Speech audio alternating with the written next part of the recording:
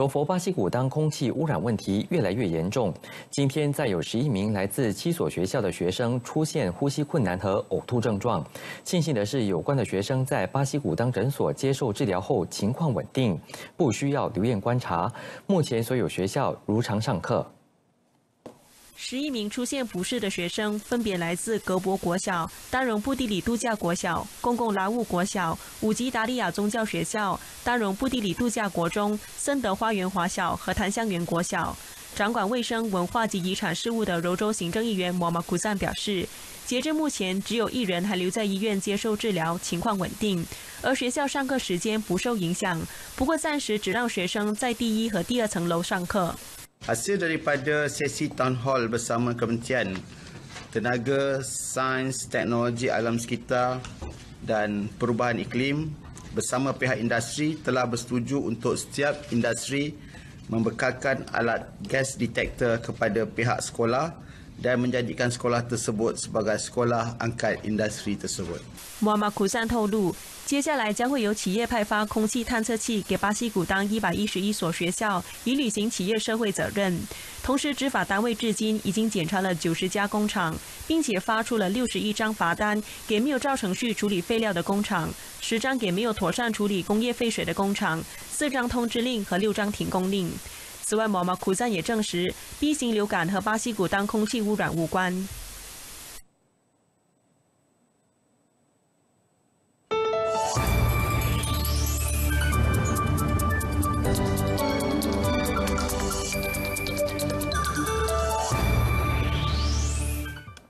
国会消息：马来西亚、新加坡技术委员会将在十月举行第八次会议，讨论白礁岛、中岩礁以及南礁的海域界限问题。这一次会议将在我国举行。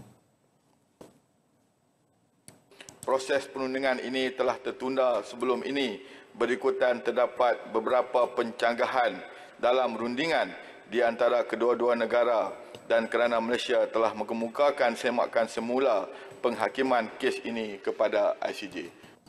外交部副部长达多马苏基在国会议院会议回答高渊区国会议员达多曼索奥夫曼的提问时这么表示。他指出，大马不排除再次向荷兰海牙国际法庭提出重新审核白礁岛、中岩礁及南礁的主权裁决。他补充，这项申请早在去年五月二十三号获得马新双方的同意下提出。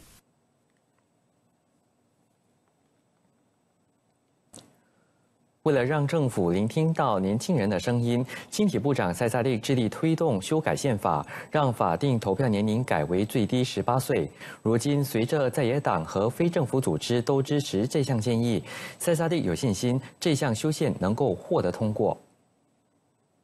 塞萨蒂报告对所有支持修宪、将法定投票年龄改为最低十八岁的各界表示感激，当中包括在野党。塞萨蒂说，这一项修宪是一项将青年放在首位的举措，并且透过他们的参与来塑造国家的未来。不但如此，这一项修宪还是提升所有国会议员共识精神的动力。他表示，为了让国家建立更美好的未来，他希望获得国人的支持，以便推动政府强化青年。同时，青体部也会确保提升青年的角色，以便让他们不只是停留在国会。目前这一项修宪获得朝野政党的支持，其中在野党方面支持修宪的就包括伊斯兰党、伊青党、国大党青年团、柔佛乌统、巴彦拿督区国会议员达多斯里阿曼扎希、萧山区国会议员达多斯里莫曼纳斯里、林茂区国会议员凯利以及金纳巴当安区国会议员达多斯里邦莫大。而在现阶段，塞萨蒂也透露，政府正在对提升青年能力和角色的事宜展开研究，包括自动选民登记措施、修改2007年青年组织和青年发展法令以及选举相关的法令。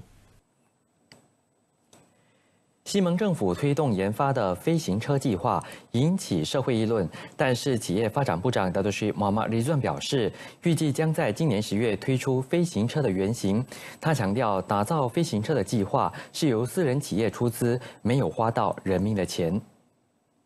Pembangunan prototipe mobility yang dibuat oleh syarikat-syarikat yang berkemampuan dan berminat untuk meneroki pasaran industri ini, semua hak milik intelektual termasuk reka bentuk dan persiapan air mobility adalah di bawah tanggungjawab syarikat yang membangunkan projek ini termasuk kos berkaitan. Muhammad Rizwan 是在国会下议院回答巴西腹地国会议员 Muhammad Zawawi 提问时这么指出。Muhammad Rizwan 表示， 飞行车在我国和国际市场都有巨大潜能，如在建设、安全和农业等领域。他说，现有的法律是管制航空业，因此企业发展部目前和交通部旗下的相关单位开会探讨政策和法律，开拓飞行车在我国推行的空间。对于有议员质疑飞行车侵害航空安全，摩马瑞传提到，阿联酋、法国和美国都有相关政策可供参考。他也举例，政府可以限制飞行车飞行的地点。政府规定，电子召车司机必须在七月十二号之前考获公共服务交通执照，但是有投诉指及格率非常低，因为各级别只有百分之十到五十的司机通过考试。对此，交通部长陆兆福作出否认。他透露，从今年四月一号到六月三十号，一共有超过一万名电子召车司机通过考试获得执照，占了整体考生的百分之六十二。陆兆福指出，从今年四月一号到六月三十号，全国共有一万六千三百三十八名电召司机进行公共服务交通执照的考试，当中有一万零一百五十一名电召司机通过了考试，考获执照，这占了整体百分之六十二。Maka daripada jumlah tersebut dapat dirumuskan bahawa sebanyak 62% calon telah lulus ujian tersebut dan berjaya dilesenkan. Maka dengan itu Eh, kenyataan daripada Persatuan Pemandu Grab Malaysia bertarikh 14 Mei 2019 yang mendakwa hanya 10 hingga 50% pemandu e-hailing lulus dalam setiap kelas seperti yang dilaporkan dalam berita harian adalah tidak tepat. 陆兆福是在国会下院的问答环节上回答乌统巴东德拉国会议员达多斯林马吉卡利的提问时这么回答。陆兆福补充，考生之所以不及格，是因为前方车镜的透光度少过百分之七十，以及没有灭火器等因素，因此才没能通过考试。即便如此，他还是有信心，在七月十二号之前成功考获公共服务交通执照的司机将会进一步增加。另一方面，交通部长陆兆福指出，基于电子召车服务没有基本的收费，所以收费顶价是根据市场的情况来决定。他认为，如果电子召车服务收费提提高，那么可能会流失乘客，因此有关的费用应该合理并且具有竞争力，这样乘客才会选择他们的服务。Kita harap syarikat-syarikat e-hailing ini sudah tentunya apabila telah pun disahkan ataupun kita telah menjalani Uh, uh, proses peraturan ini maka kadar tambang itu mestilah uh, uh, mestilah berpatutan. Dan kalau mereka tidak kompetitif maka uh, penumpang-penumpang akan tidak memilih uh, perkhidmatan mereka. Jadi e-hailing ini adalah sesuatu yang kompetitif. Dan kita harap uh, lebih ramai uh, lebih banyak lagi uh, syarikat e-show yang akan menawarkan perkhidmatan-perkhidmatan ini kepada penumpang. Dan akhirnya kita mengharapkan bahawa uh, masyarakat kita dan rakyat kita 陆兆福是在国会下院的问答环节上回答巴耶乌沙区国会议员瓦马沙巴阿卜杜拉的提问时这么回答。同时，陆兆福建议，如果电召服务公司为电召司机提供奖励，这可能有效维持电召服务的价格收费。早前，社交媒体流传一段执法官员射杀流浪狗的视频，引起网民挞伐，质疑他们使用枪械射杀流浪狗是否违反了动物服务法令。对此，农业与农机工业部长达多萨拉胡丁回应指，执法官员的做法是合法的，当局也在探讨其他的有效方案，以便控制流浪狗或流浪猫的数量。萨拉胡丁表示，使用枪械来控制流浪狗是符合程序。无论是怡保市政厅或其他执法单位，都没有抵触2015年动物福利法令。他说，如果流浪动物不受控制，那么使用武器是最后的选择。Contohnya anjing liar ataupun disebut anjing gila yang menyerang dengan garang sukar ditangkap dan telah menjadikan makhluk lain sebagai pemangsa. Dalam keadaan ini, barulah akta ini akan digunakan itu pun dengan nasihat dan budi bicara dengan izin the last resort. 萨拉胡丁指出，控制流浪狗必须遵守2015年动物福利法令。根据该法令第三十条文，任何人不得使用枪械射击由部长在宪报颁布的狗、猫或其他动物，除非授权兽医局在紧急时用于疾病控制。条文也阐明，禁止射杀任何动物，除非获得授权。不过，色拉胡定指，兽医局在今年二月十九号向房屋及地方政府部提交信函，允许当局以控制动物数量为由，允许使用枪械。为了严格为了严格管控国内飙涨的房屋价格，以及让更多人可以拥有自己的房子，政府除了会建造更多可负担房屋，也会进一步探讨房地产盈利税，向房地产公司因为托售房产和股票而获取的盈利征税。房屋及地方政府部副部长达多拉加卡马鲁指出，房地部将会在近期内和州政府以及相关机构进行磋商，讨论低成本可负担房屋计划的实施方案。他也透露，房地部建议减少州政府向发展商征收的土地费用，并敦促州政府提供合适的地点建造可负担房屋。Pengecualian atau pengurangan charge sumbangan utility di mana pembekal Prime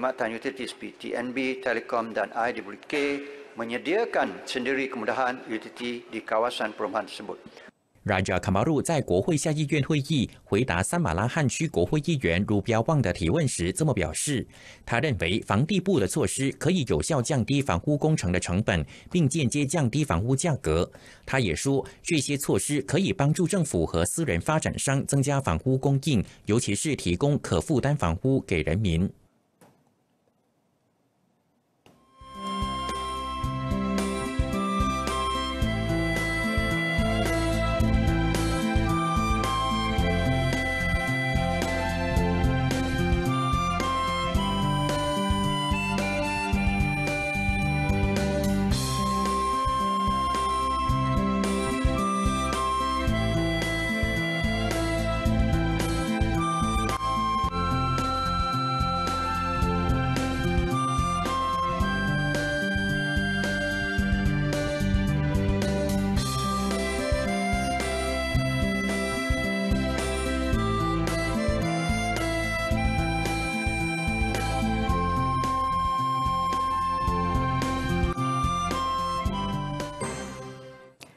继续来看国内新闻。根据马来西亚工业发展局的报告，柔佛州当选为外来投资额最高的州属，去年一共取得超过两百四十亿令吉，和二零一七年的五十一亿相比，增加了四倍。雪兰莪和彭亨州分别排名第二和第三。柔佛去年的外资投资额高达二百四十亿零三百六十万令吉，远远抛离位居第二的雪兰莪州和第三的彭亨州。雪兰莪州取得一百亿八千三百七十万令吉，彭亨州则是七十亿五千七百一十万令吉。柔佛州国际贸易投资及公用事业委员会主席潘伟斯透露，印尼是柔佛州边加兰最大的外资，该国一共投入八十亿四千六百万令吉的投资额。荷兰居次，在柔佛州投入七十亿五千七百万令吉。中国位居第三，一共录得二十亿八千四百万令吉。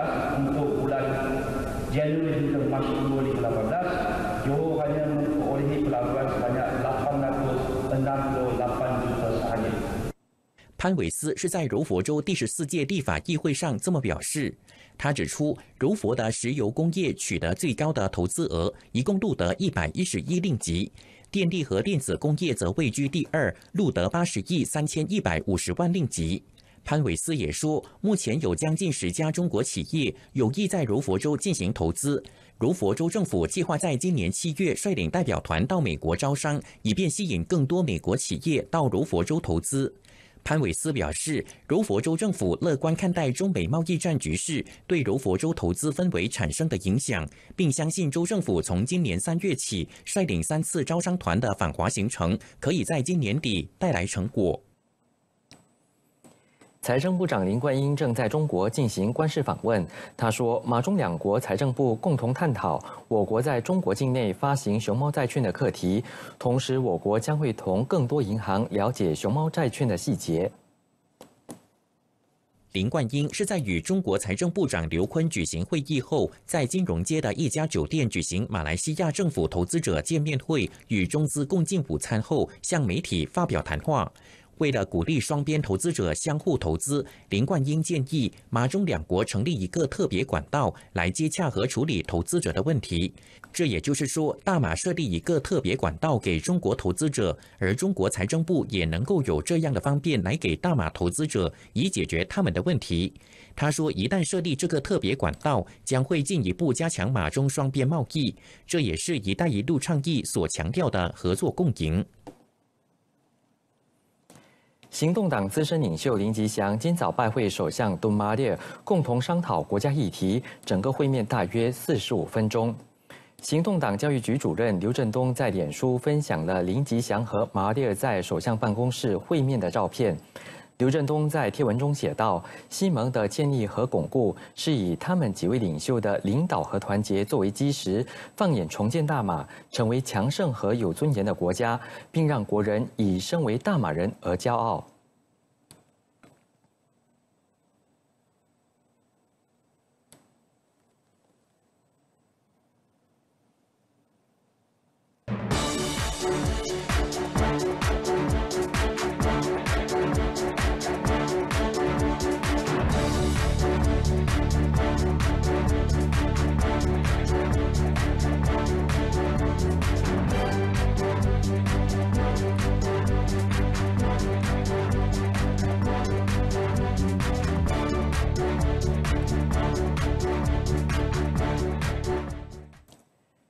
城州政府有意把先租后售房屋计划扩展到全部县市，以帮助弱势群体，尤其是 B 四十低收入群体拥有属于自己的房子。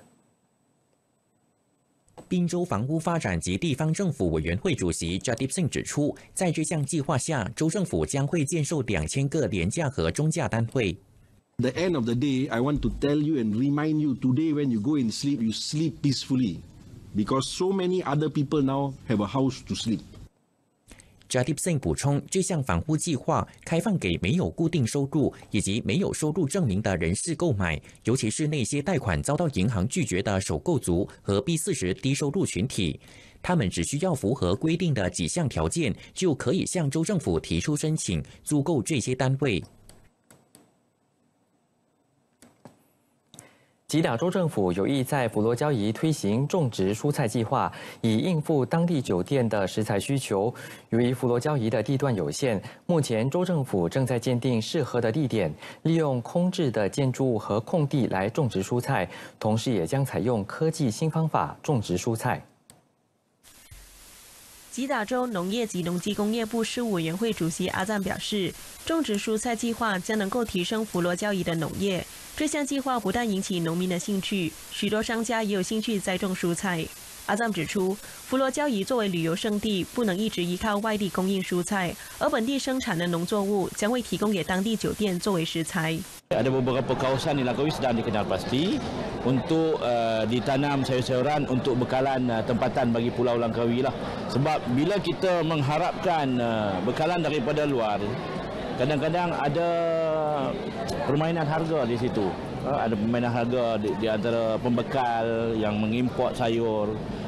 阿赞表示，州政府将会善用空间种植蔬菜，并且采用科技法种植，也就是生物有机水耕法和水耕栽培。首相德马丢也曾经表明，有意将佛罗交易打造成糯米生产岛。阿赞透露，除了蔬菜，当局也会种植斑斓香叶和糯米。由登嘉楼州政府打造的东南亚第一座开关吊桥，设有两栋十五层的高楼，是该州的新地标。当局相信将会吸引许多游客到那里拍照打卡。但是基于安全考量，登州消整局将会成立一支特别行动部队，在当地驻守，以应对可能发生的任何紧急情况。这座耗资两亿四千八百万令吉打造的吊桥，设有两栋十五层的高楼，里面设有餐厅和展览厅。游客除了可以登上高楼的展览厅，俯瞰登下楼河的风景，也可以乘坐观光船在河上欣赏美丽的吊桥及河畔景色。但是，为了确保没有安全隐忧，消长局将会派出一支特别行动部队驻守在这个新地标，以防有任何紧急状况的发生。Tempat perhimpunan ataupun restoran di di di tingkat atas, sebab kiri kanan dilengkapi oleh dua tangga. Jadi kemungkinan besar sebelum saya dah ada berbicara dengan Esko, sebelum nak dibuka kepada umum. kita akan buat uh, prarancang uh, prarancang keselamatan sekiranya berlaku apa-apa kecemasan uh, pada bangunan tersebut. Muhammad Soki Hamza 是在登嘉楼消防及拯救大楼出席开斋节门户开放活动后，向媒体发表谈话。 昨天傍晚，有人目睹一名中年男子在北海前往冰岛的渡轮上跳海。虽然警方接获投报后立即展开调查和搜寻，但是一无所获。结果今早该名男子的遗体浮出海面，被渔民发现，遗体随后被送往医院进行解剖。死者证实为四十七岁的谭姓男子，是一名物流代理经理，已经和妻子离异，育有两名孩子。这起案件是在昨天傍晚六点左右发生。事发时，有人目睹一名男子跳入海内，而渡轮抵达码头时，渡轮上有一辆本田城市轿车被发现司机失去了踪影。警方在接获渡轮码头辅警的通知后，着手展开调查，在车内搜获一张身份证等物品。相关单位也开始进行搜寻，直到晚上八点，并在今早八点继续打捞工作。渔民今早在新关子角附近海域发现浮尸后，向消整局投报。消整局动员将尸体打捞上岸，并送往施布朗在野医院太平间解剖。警方援引刑事法典第三百零九条文，从自杀的角度调查这起案件。吉打州爆发的肌孔肯雅症在六月三十号之后没有出现新病例，三十七名患者目前的情况稳定，没有大碍。吉打州卫生局主任达诺希散在文告中指出，亚罗士打伊布拉辛路保持三十宗确诊病例，新邦瓜拉一带保持七宗病例。而卫生局在疫情爆发后，立即在疫区喷射文物，并采取防范及控制疫情措施。目前，当局已经派员到涉及有关病例的四百三十四个建筑物进行检查。新邦瓜拉一带的灭蚊行动还在进行中，目前已经检查了二百八十一个建筑物。诺希散指出，当局在一九七五年消灭带菌昆虫法令下，对相关人士已经开出了十六张罚单，罚款数额是八千令吉。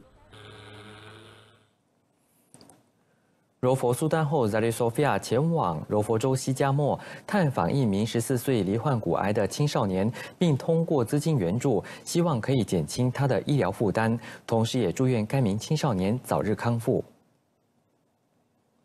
柔佛苏丹苏丹伊布拉辛和苏丹后扎利索菲亚从去年开始关注身患骨癌的阿杜阿金。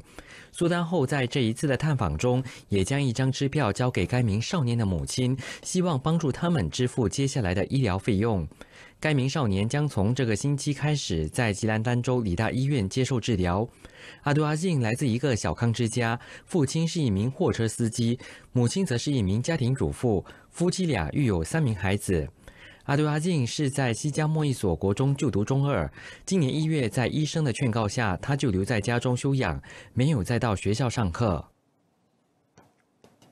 野蛮游戏三：全面晋级》是一部美国动作冒险喜剧，估计将在今年十二月上映。新闻结束前，一起看看电影的首个预告。我是张忠林，感谢收看，我们再会。